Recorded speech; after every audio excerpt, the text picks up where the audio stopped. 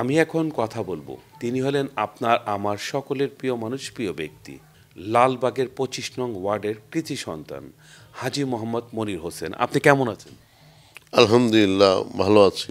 আজকে হলো আমাদের ঢাকা সাত আসনের জানুয়ারি সাত তারিখে জাতীয় নির্বাচন। লোক হিসাবে কে মনে হয় ভালো আপনার কাছে? আমার দৃষ্টিতে সাত আসনের সবচেয়ে ভালো ছেলে, ভালো ক্যান্ডিডেট আমি দেখছি সলিমান সেলিম ছাড়া বিকল্প আর কেউ নাই। সাত আসনের হাজি সেলিম সাহেবের ছেলে সুলেমান সেলিমকে নৌকা মার্খা টিকিট দিয়েছেন। আমরা মাননীয় প্রধানমন্ত্রীকে স্বাগতম জানাই। সাত আসন থেকে যোগ্য বাবা, যোগ্য ছেলে, তা আমরা তারই পিছনে ইলেকশনের আগের থেকেই আমরা পরিশ্রম করে আসছি। যেহেতু আমাদের সাত আসনের অনেক অবহেলিত অনেক কাজ পড়ে আছে, এই ধরনের ছেলে আমাদের খুবই সাত আসনের খুবই দরকার।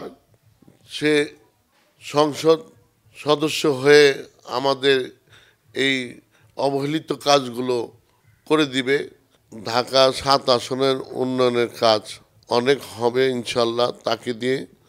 আমরা চাই তাকে সাত আসনের নৌকা মার্খা ভোট দিয়ে সংসদে পাঠিয়ে আমাদের কথা বলার জন্য আমরা পনেরো বছর পেরিয়ে গেলাম হাজি মোহাম্মদ সেলিম সাহেবের সাথে।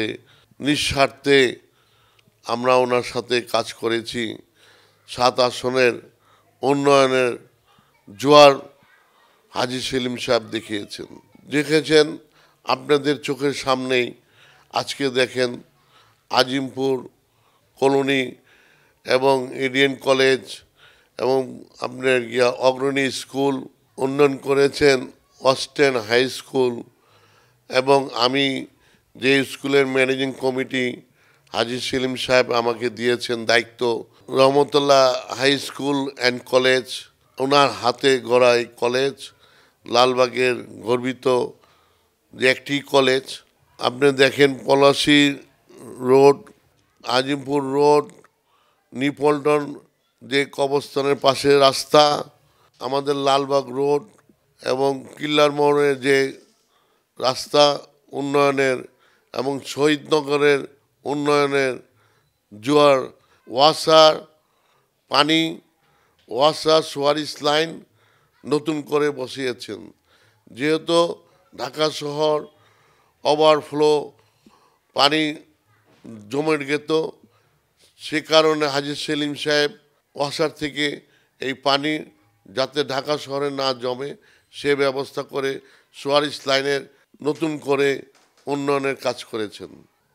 সুলেমান সেলিম সাহেব ভালো মনের ছেলে এবং ভালো মনের মানুষে, আমরা সবাই তাকে পছন্দ করে, সাত আসনের উন্নয়নের কাজ হবে বলেই আমরা তাকে বেছে নিয়েছি।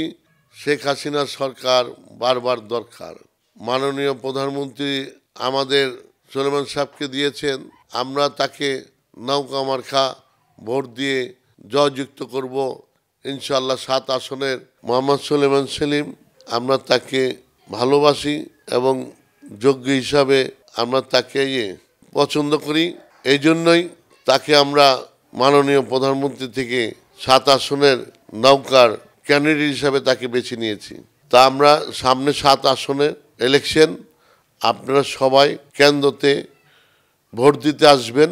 নৌকাকে বিজয় করে সোলেমান সেলিমের হাতকে শক্তিশালী করার জন্য এবং সাত আসনের জনগণের নৌকাকে বিজয় করে মোহাম্মদ সুলেমান সেলিমকে আমরা সংসদে আমরা দেখতে চাই। নৌকার জয় ইনশাল্লাহ